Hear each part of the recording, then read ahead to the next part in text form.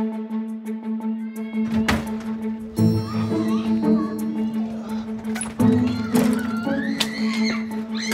honey, Daddy will help me fix Barbie later. Meal deal. Check. Love you.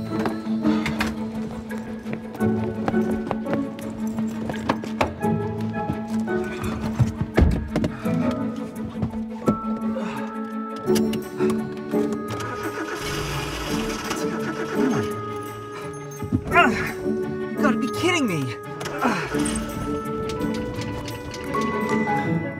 Fantastic.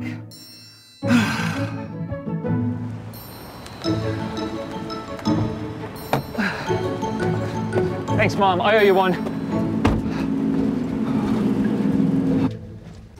Galanos, nice of you to show up. Hey, Rosa, sorry, my car. Is clearly a lemon. Didn't I tell you life was too short to buy a brand new car? When'd you get it? Like a month ago? When I transferred here, yeah. What did the shop say? They said they'd call. Did Louise tell you our 1030 got moved to conference room Ed? No. Well, now you know. And if you're late to it, you're gonna be paying for those car repairs with unemployment checks. Got it? Got it. Hutchison, is that a coffee mug or a flower pot? Save some for the rest of us.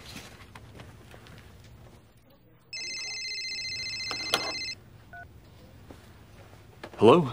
Uh, hey, Mr. Gonzalez. It's Galanos. Uh, yeah, hi. We took a look at your car. Here's the solenoid got fried, and that's why it's not starting. Looks like the, uh, wires connecting the solenoid to the battery are smaller gauge than they should be. It's not common, but it happens. It's a brand new car. You're telling me the manufacturer used the wrong wires? Yep. Sometimes they'll put a part in there that works well on paper, but fails in the field. Okay. Any idea what that's gonna cost me? A whole heck of a lot less than the warfighter in the field, I can tell you that much. 20 years in the service taught me that little things become big things at 30,000 feet. Your car not starting in the driveway is one thing, jet fighter falling out of the sky is another, am I right? Uh, Now, the wrong wire connected to the solenoid, if discovered in plant, would have to be reviewed by contractor personnel above the installer level to determine if it needs to be replaced with the correct wire or if it could be dispositioned as a use as is non-conforming material. But I think it's fair to say the uh, technical analysis used to support the use as is disposition in this case was ill advised. Wouldn't you agree? Gus Standiford. Seems like your new car isn't the only thing that can use my help, Mr. Gonzalez. You ready to learn more about non conforming materials? It's Galanos.